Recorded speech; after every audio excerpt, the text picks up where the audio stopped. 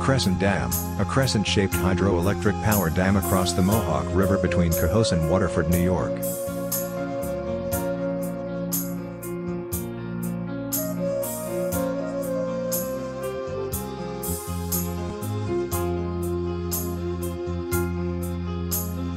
Both sections are curved in plan.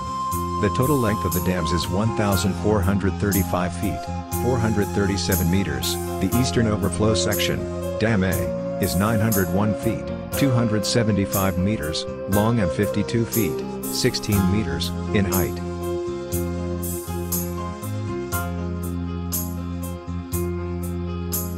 The dam, which is in two sections with an island in between them, is about 1.5 miles, 2.4 kilometers, upstream from Cohoes Fall.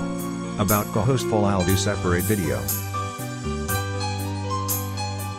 The western section, Dam B, is 534 feet, 163 meters, long and 32 feet 10 meters, in height.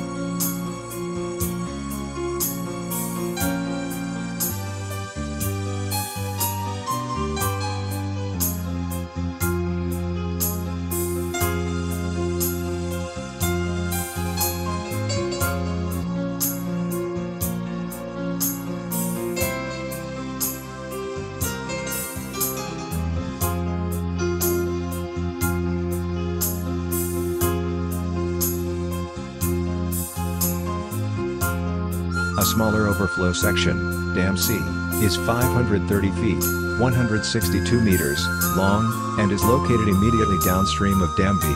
The maximum structural height of this dam is approximately 16 feet, 5 meters.